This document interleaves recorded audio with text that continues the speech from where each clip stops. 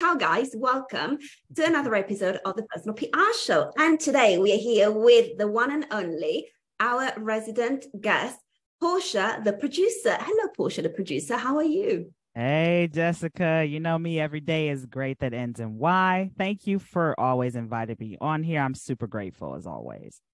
Thank it's, you so much. You know, despite all the the chaos that's going on you know it it's always an honor to be able to take time to really do this and help more people so thank you again as always jessica Thank you so much again, uh, uh, also for making the time you make. Really, time for us every single month. At the end of each month, it's Portia time here on the Personal PR Show. Yes. And we always talk about so many different things with you and and it's amazing. And we know also i'm going to introduce you just for a second just because maybe some people haven't seen the previous um, episodes. But anyway you are known as portia the producer and especially you are a radio and a podcast producer. And this this leads us to today's topic. But before you were a radio producer and a podcast producer you actually were a tv producer and this is what yes. we're going to talk about today, right? The title of today's conversation is How to Entice a TV Producer. So, is there anything that we should know, we should mention before we get into that? Hey, make sure you got your notebooks and ready to take notes because I'm about to drop a whole bunch of gems. I always take notes with Portia. I never take notes. Like very rarely do I take notes, you know, during the personal PR show. But with Portia, I always have something otherwise I, I can't miss it i can't miss it. we have to make sure guys to please get everything ready to ride. we have to make sure that you don't miss anything because portia delivers so much content in like 20 minutes she's able to drop the content that somebody would would drop in i don't know 12 hours it's crazy let's go portia then are All we ready right. Ready like SpongeBob, bring it on like Donkey Kong. All right. So first, I told you, Jessica, my sarcasm just comes out naturally. It, you know, it has no curfew. It just, you know, it has its own personality. So, how to entice a TV producer or a producer, whether it's podcaster, radio, television, whichever medium you're trying to get on. Number one, of course, Jessica, you know, I have an acronym for everything. I call this the RAP acronym. So, number one, R standing for research. You have to do your due diligence and research the show, the episodes. And what I mean by research, don't just look at the name and say, oh my God, this name sounds really cool. I want to get on this show. Wrong answer. Let's be realistic. There's over a billion podcasts out there, and not every single podcast needs you on it. I'm going to say that again. Not every single show or podcast needs you on it. You want to really make sure that you find shows that really are in alignment with your messaging, with your branding, with what you stand for. So when I say research the show, listen to a few episodes, get a feel for how their guests are engaging with the host because maybe you might listen to an episode and you book a call with them and you don't like the vibe of the host. So again, you want to make sure that when you're researching, you get a feel of the host. You get a feel of how they engage with their guests, the kind of questions that they're going to ask, right? Because sometimes hosts can throw you a curveball question and you might not want to answer it, right? You might get stuck in the moment. So, research the show, listen to a couple of episodes, and then think about what the guest is bringing to the table, right? And I, I have to preface this, Jessica, because even though I just launched Groove with Portia season number two, when I get pitches, I still get pitches to this day. You are not the product. I have to mm-hmm. say that again. You are not the product. Okay. Whether you're a speaker, author, coach, you are not the product. At the end of the day, media just wants a story. They want something that engages their audience, that gives them more ratings. So keep that in mind. So again, when you're researching a show, really think about what can I bring to this audience that somebody else can use, right? So actually, you know what, Jessica, this is perfect because I'll actually read a pitch that I received earlier this week. I'll kind of change up some of the names. Okay. Interviews available with Jesse Johnson on April the 12th from 7 a.m. to 1 p.m. How to pack the perfect weekender bag expert, beauty expert Jesse Jackson shares must have travel essentials to make your spring getaway the easiest one yet. Okay. So, what do you get from that pitch, right? This person is a beauty expert in their arena. They're saying the dates that they're available to do the interview.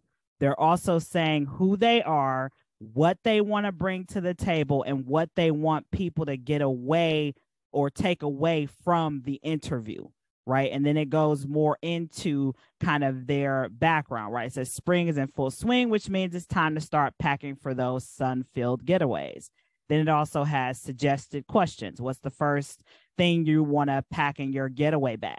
What is an absolute must have item for those warmer months, right? So you want to keep that in mind when you're going to pitch some of these podcasters, TV producers, radio hosts. Okay. The other thing, little spoiler. Okay.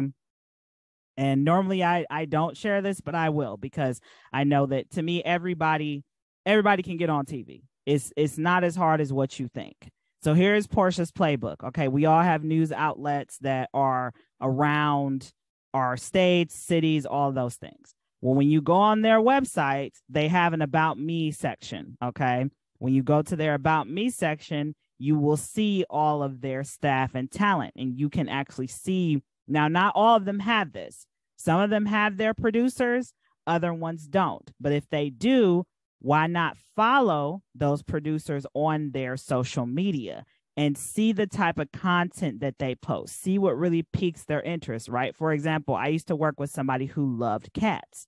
Well, they always posted funny little cat videos on their Instagram, Facebook. Okay, if you're somebody who loves cats too, use that as your leverage to get in their face. Say, hey, you know, hey, um, Jessica, you know, I found this unique cat toy on PetSmart.com and I saw that you posted about it the other day and I really enjoy it. Thanks for sharing it right there builds that organic connection right there. So you're getting in this person's face and they can see, oh my God, this person's really engaging with my content. I wonder what they're up to. Bing, right there. So you see how things start to compound. You're getting in this person's face, you're engaging with them, they're engaging with you that's when you want to start to this leads to letter A. So we've already talked about research the show, research the topic, research the producer, all those things. Now, this leads to letter A, taking action, what I just mentioned, engaging with the host, engaging with the producer. Also, the other thing that I recommend too, when you're listening to their shows, leave comments and feedback, share, share their show on your social media and if you're following them or if you're friends with them, tag them in it. Say, hey, I just listened to this amazing episode of Groove with Portia with host Portia the producer, where she talked about XYZ. And I think some of you guys can really benefit from what she had to say. Boom. It's not hard to share, it's free. You're not obligated to pay anything. So again, it gets you exposure, it gets you in that person's face. Okay. And this leads to kind of my last point pitching the pitch that I just mentioned, right? You are not the product. I have to say it again. You are not the product. Whether you're an author, speaker, coach, podcaster, you are not the product. You need to pitch value to these hosts and producers. They want to know what can you bring to the table that's going to help their audience right? And I'll be very transparent, Jessica, with my show Groove with Portia. I do not accept all pitches. I get pitches all the time and I read through them. I read through a lot of them. And if they don't fit a certain criteria for me, nope. I'll respond. I'll say, hey, thanks for your interest as of right now. You know, I, most of the time I tell them right now I'm currently booked for a while. But if it's somebody who I'm just like, nah, I'll tell them like, "Hey, thanks for your pitch. I think your your value would best suit another show." Very simply put, it's not rude, but at the same time, I have to be realistic, right? I'm very particular and I care about my audience. And I want my audience to be 1% better than they were yesterday. So I want to have people who deliver that same value to help them in some way, shape, or form. I'm somebody who believes that if you can bring something to the table that can make my life better in a day or within the same hour after I digest something, you're golden. And we all have that capability, whether you're an author, a speaker, whatever that may be. Deliver the value first. We had a saying, Jessica, when I was in the newsroom called give them the cake first. Give them the cake first. Okay. I think there is unfortunately a lot of people who like to withhold information. And I feel like that does a disservice to you and the people who need your services if you're gatekeeping. So, um, all that to say, you know, when you're pitching, really think and look at sample pitches, right? When you're listening to different news segments, I mean, just follow different speakers like TEDx. I think Sherry Elise. Sherry Elise is one of those people who gets on the news all the time. And look at the way that she engages, look at the way that she interacts, right? And, you know, I, I have to preface this to Jessica. Every time you pitch, you're not going to land. Okay. It's not some, for some people, it works every time. For other people, it takes a little bit of effort. But the more you do the research, the more return on investment you're going to get. Right. And, you know, the other thing I want to also add here, Jessica, is when you're pitching to, if the producer responds to you and says, Hey, thanks for your inquiry. Right now, we're not looking to do that segment perfectly fine, right? You've built that relationship. So circle back maybe a few months down the line. Now, here's another little cool tip that I want to share with all of you, right? Each and every one of us has a specific niche or passion that we have. Like, for example, me, I'm big on gratitude, I'm big on mental health awareness, I'm big on suicide prevention. So every single month, there's a theme. Okay. So do the research on whether you're a mental wellness advocate, tie that into your pitch, right? So May is mental health month. May is also, I believe, National Foster Care Month, I think. Something with the foster care system is in May too. And then July is Minority Mental Health Month.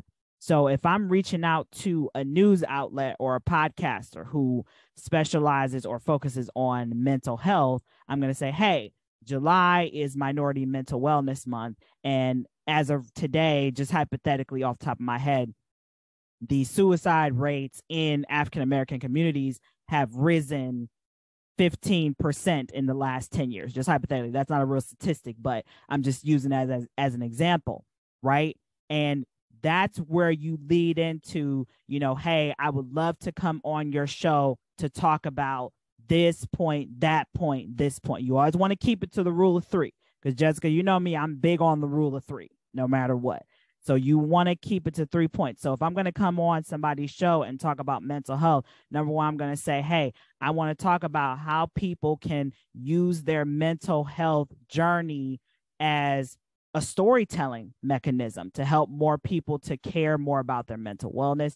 Number two, I want to share how what you digest is how you dress, as in the things that you eat make an impact on your mental health.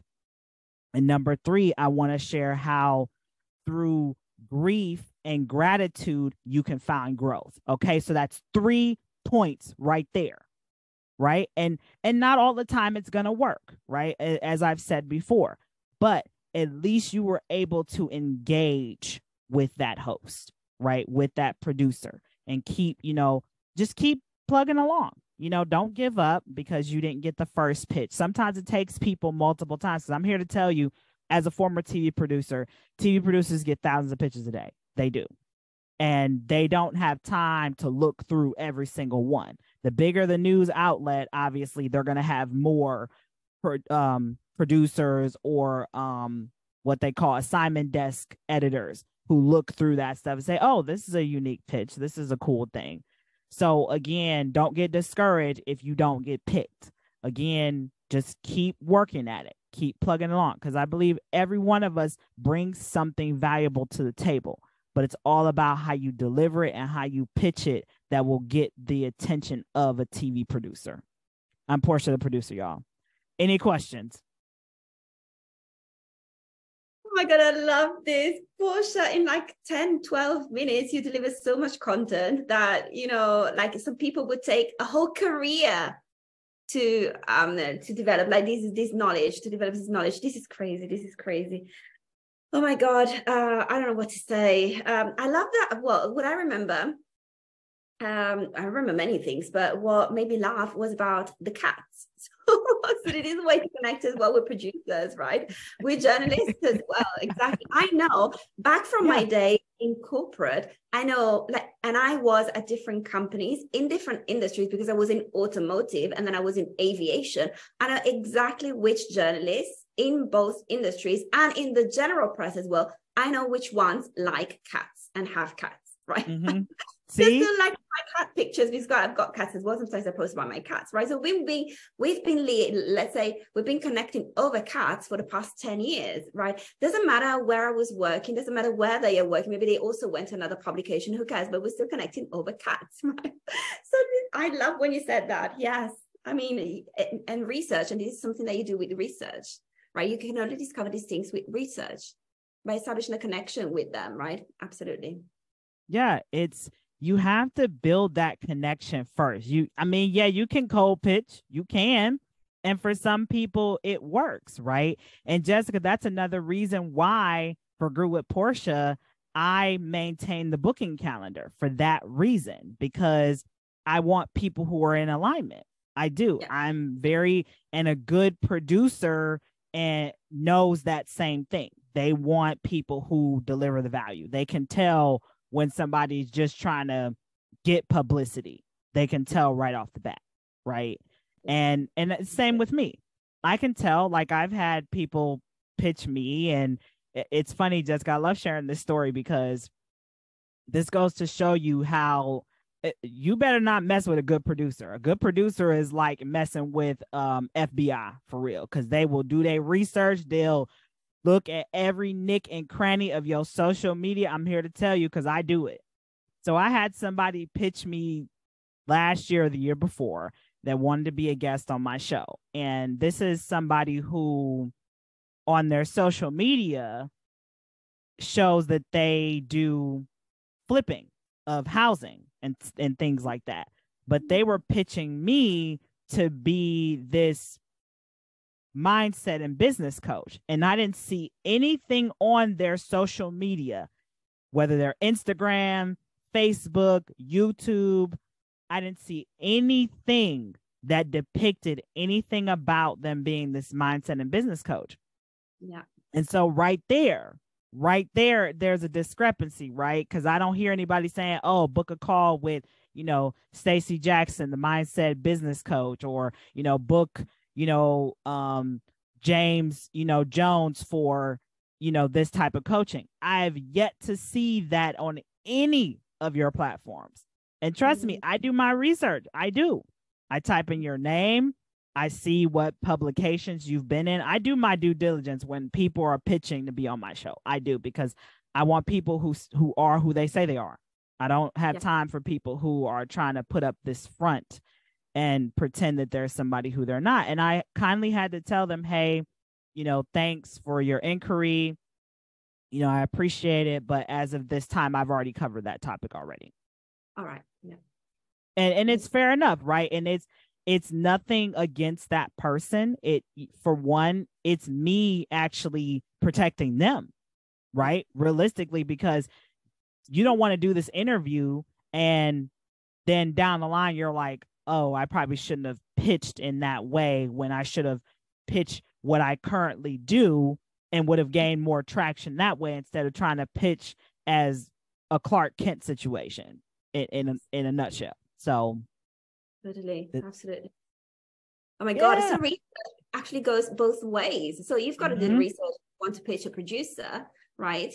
Uh, but at the same or establish a relationship with a producer which would be the first step actually and then the other way as well like the producer is going to research you as well right? Mm-hmm. Yeah, if they find the pitch enticing enough, yeah, they'll be like, "Oh, let me let me peel back the layers on this. Let me see who this person is." And I'll be honest, Jessica, I mean, you can literally Google my name, Portia Booker. You can Google it and you will see I am who I say that I am. I'm the host and face of Groove with Portia. You'll also see other articles on me that I used to be a TV producer, that I mm-hmm. used to be a newspaper journalist, that I am an award winning journalist. Like you'll find all that stuff on Google. You will.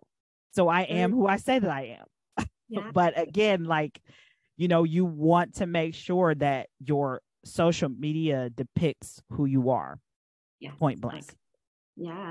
And I think when it comes to TV producers, of course, like a podcast producer as well, maybe like, you know, like so many people that have their little podcast, we all have responsibility, of course, as to what we put, like the content and the people that we put in front of our audience. Definitely there's mm-hmm. responsibility everywhere. But I would argue that when you are working for a, let's say, a mainstream channel, and it could be like a mainstream yep. publication or mainstream TV, TV channel, for example, then the responsibility is even higher because you are going to put this person, this brand, this, I don't know, um, company or story, like in front of maybe potentially millions of people as exactly. well, right? So for the people, for the audience, responsibility actually for the person that you're putting in front of them as well right? Like it's huge. And and i would say that if you i don't know because i've never worked as a producer you are here you're the expert mm-hmm. here but i would say that if you do a great job as um as a producer then uh, of course then you are going to facilitate this instant re- let's say connection between the audience and the person that you're bringing in front of the audience right? Because like because you're putting them on that stage then the the guest is going to get instant credibility because of all of the vetting and research and that you have done right exactly i would say right so mm-hmm. it's a mm-hmm. huge it's a huge power as well that you have as a producer because you can make or break a brand or a person totally mm-hmm. right yeah, look at all of the snafus, Jessica, that have happened on the mainstream news channels, right? Because they've hosted guests that what months down the line have had some type of allegation put against them right? That that was already in full swing prior to the interview because a lot of stuff you know in television is pre-recorded sometimes months in advance depending on what the show is right? Whether it's a talk show such as you know like the you know Jennifer Hudson show or Ellen a lot of that stuff's pre-recorded months in advance yeah. and sometimes those episodes come out and they're like, oh, they're scrambling, right? So now they have to rebuild their trust with you as the audience, right? Look at what happened on the Today Show, right? Mm-hmm. Look at how mm-hmm. their whole staff is different because of the whole thing with Matt Lauer. So again, as a producer, it is a big responsibility. It is a big job, and even I'm I'm speaking to podcast hosts because a lot of podcast hosts are their own producer too right? I I can say that for me. I am my own producer, host, talent booker, everything. I do everything for Groove with Portia. And, you know, it is a big responsibility to me. And, and I'll be honest with you, Jessica, I've had to pull some episodes Groove with Portia for that reason. When I've listened back to them and I'm like, oh, yeah, I, let me pull this. Sometimes I will not air the episodes either. If I pick that up, because I'll, I'll be very honest, I am empathic and clairvoyant. So I can tell right off the bat when somebody's energy is not in alignment. I can tell it's an energetic thing. So, you know, again, a lot of producers I think are very similar in my way too. They can tell a good pitch from a bad one. They can tell when somebody is just trying to get publicity versus when somebody is trying to actually bring value. Yes. So, really be care you know really do your do the work. If you take anything from this live between me and jessica just do the work. Put in the work. Do the mm-hmm. research. Take the action and then pitch. Build that relationship. I want to say the r should be relationship instead of research because build relationships are key. Like they say it's not about what you know, it's about who you know. And it is very true. It is very true. And I can tell you in the TV world, it is about who you know because somebody in TV can either make you or break you. It, it's that simple. So if you take anything from this, build those relationships, be genuine, be organic, and really be in the arena to give service and value to the people who you serve. I'm Portia, the producer, y'all. Thank you so much. Oh my God, Portia, what? This has been so good. I can't wait for the next episode next month and the end of April. Oh my God, I want to have you on the show every single week, but I know you're busy. I'm busy. Oh my God. But at least once a month, we have Portia here, guys. This is amazing. This has been Portia, the producer. Thank you so much. Enjoy your weekend, Portia. Enjoy your weekend, everybody. And I will see you in a month. Mwah! Thank you, Portia. We love you all. I mean, we love you all at home, but we, we all love you, Portia. love you too, Jessica. Peace out, y'all. so good.